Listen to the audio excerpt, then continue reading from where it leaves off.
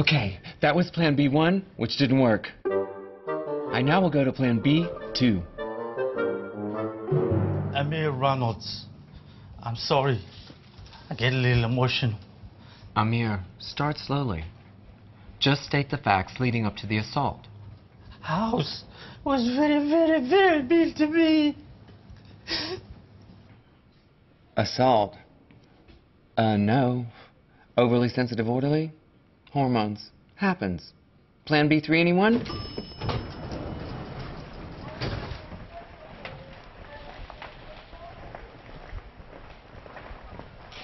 Get that camera out of here. I'm not talking to you.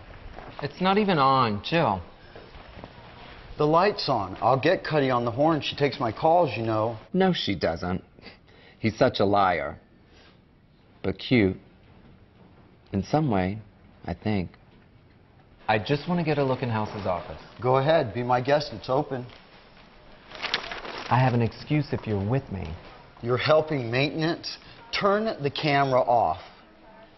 I'll pay you. Now I'm your bitch? I don't think so, cowboy.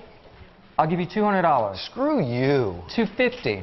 You think an extra 50 bucks and suddenly I'm in? 300. That's like an extra, extra 50. Final asking price. 300.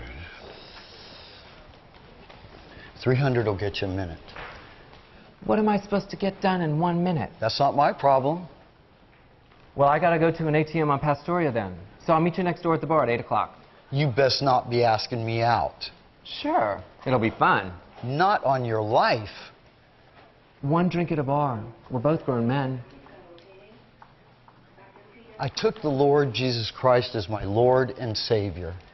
Well, whoop-de-doo. I spent 15 wonderful years at St. Sister Mary Agatha. Jesus won't let you have one beer to conclude a business deal. It's never just a beer with you people.